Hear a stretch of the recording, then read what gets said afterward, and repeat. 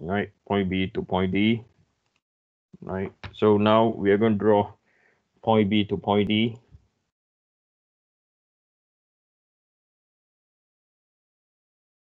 Okay, so this is point B to point D. All right, so one is at uh, 291.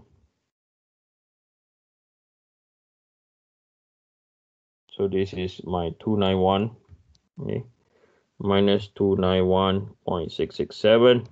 And the other one is 208. I need to draw a shorter line. That's what I'm trying to do now. So this is 208.333, uh, right? So we know that at a point that is going to intersect. So I'm going to call this distance from here to here. This will be my x. Okay. And the entire height, we know that the height from here to here, right? We know the distance from here to here. Right. We are aware that this is 1.8 inches.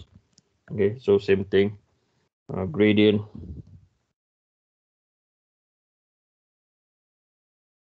is equal to delta y over delta x, right?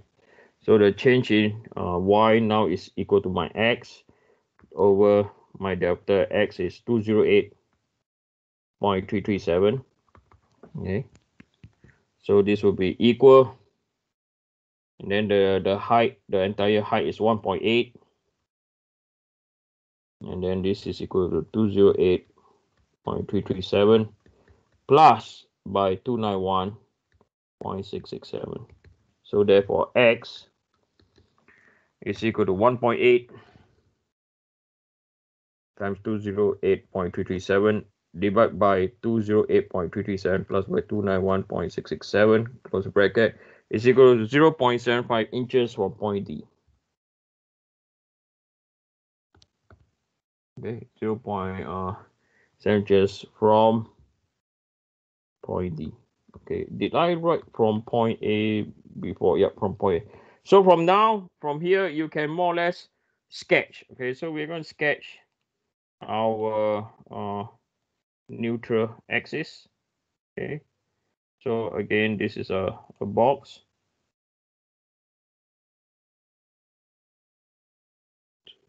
Four, eight. Okay, so this is point A uh, point B, and this is point D, and one. So the one of the intersection is over here, right? And the other one is 0 0.75. Okay, so it's somewhere around here from point D. Okay, so the distance, uh, the relative distance from here to here, we calculated is 0 0.5. Let me this is not very clear. I do apologize. So from here to here, right, this is 0 0.5. And then from here to here, this is 0 0.75 inches. Okay, so this is inches. So you now you can draw the position or where the neutral axis is intersecting. Okay, so this is how the neutral axis will intersect.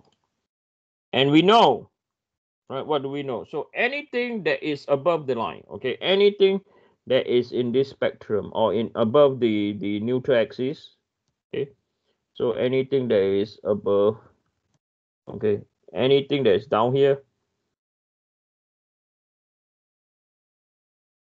right, is in compression. Then anything that is in this side, this region or below the line is in tension. Okay. So I, I, I rather do this simple than put into the equation and then you get confused, you get lost, and I get confused also. Okay. So pointless. Okay. I'm going to briefly look at another uh, another example okay just i'm not going to solve it okay i'm just going to look at it because it's a very uh unique and tricky question. Okay, unique and tricky question, and and I'll tell you why is it unique and tricky. Okay, and it boils down to analysis. Okay, so this is uh, example example number three.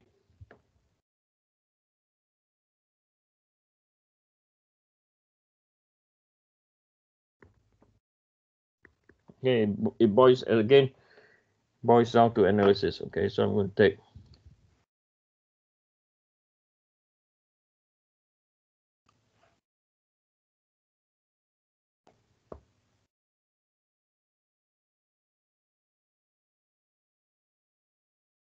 right.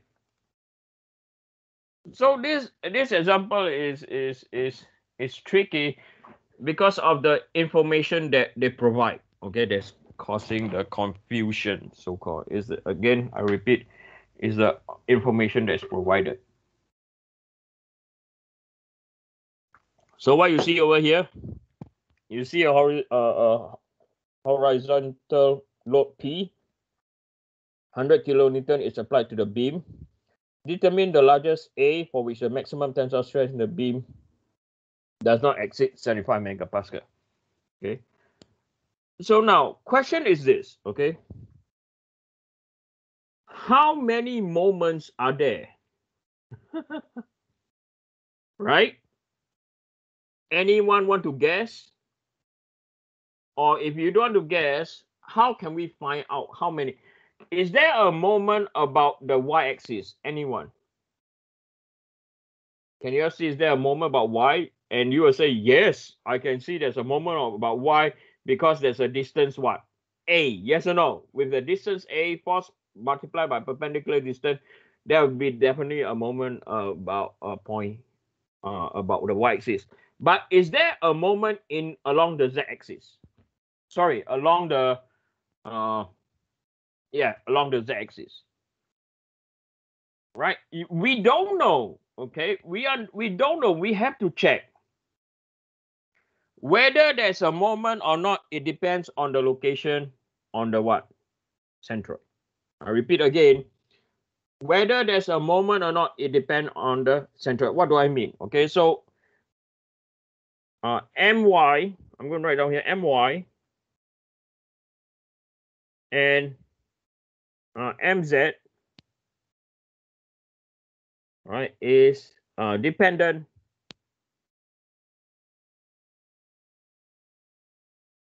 okay, is dependent uh, on the location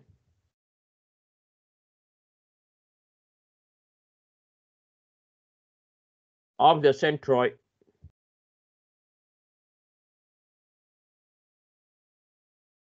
okay, on the centroid about uh, y and z axis. Okay. Now let, let me let me elaborate what's good. So we know, right? The if we look at the the so I'm going to draw the front view. Okay, I'm going to draw the front view. So I'm going to draw the front view. So say this question is a tricky question. Okay. The purpose is want us to check. Okay. So 20 by 82, 4, 6, 8 okay. And then we have 20 by 60 two four uh, six. No one. 60 sorry it's 100 so two four six eight ten. Right. Okay so on the YY, okay, so this is our, uh, so if I were to draw their, the axis that they drew, okay, so this is the Y, okay, this is the Y, and this axis over here is the Z, right?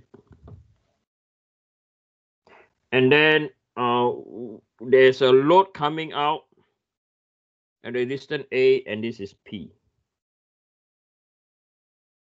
Okay, and we don't know, or we want to find what is A. Okay, we, we want to find what is A. So now, as I said, the question asked is, how many moments are there? One or two? And it is all dependent on the position of the centroid. So from here, right, if we look at along the y-axis, okay, along the y, if we look at the y-axis, right, the left and right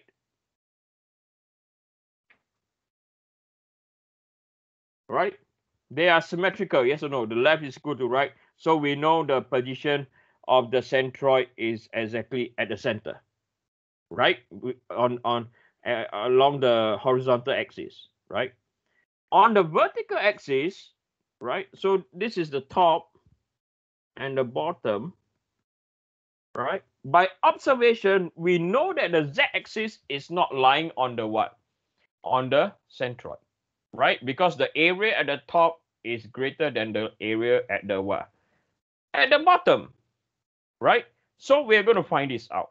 Okay, we're gonna we're gonna we we we we're gonna find uh IZZ. Okay, we're gonna we're gonna uh uh we're gonna find wait we're gonna find yeah we're gonna find uh our uh IZZ. Okay, so if we look at IZZ, this is our width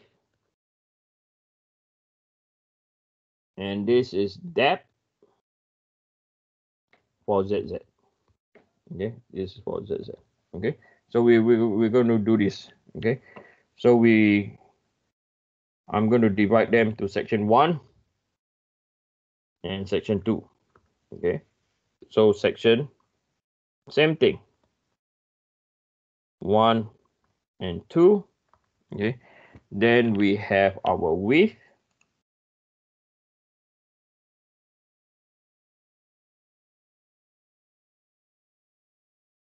okay so this is our width and depth okay? So our our section one the width is 100 our our depth is uh our depth is 20 okay so 100 times 20 is good 2000 the other one is 600 or 60 the width. And the depth is 20 okay so it's 1200 and we do sum together is 3200 okay. And then we look at our y bar. Okay, we look at our y bar from the top. So i.e our datum is at the top. Okay so this is our y bar right so the first one will be equal to 20 divided by 2, 10. The other one is 20 plus by 20 divided by 2 is equal to 30. Okay. Then we look at our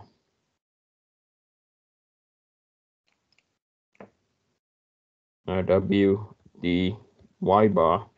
So this is equal to 20 to 3 at another 0. So 1200 times by 30 is equal to 36,000. So this is 56,000. Right. So our Y bar is equal to 56,000 divided by 3200. Okay, so 56 divided by 32 is equal to 17.5 inches from the top. Okay. So what you see over here, right? I'm going to draw this is our centroid.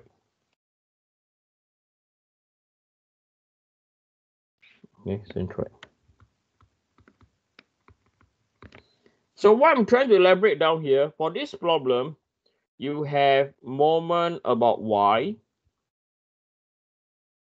Okay, because the y-axis is the centroid, right? You also or we also have, right? Moment about z because the moment about the the centroid is not exactly where point uh, align to point b okay so from here we just confirm okay we just confirm that there will be okay from here we just confirm that there will be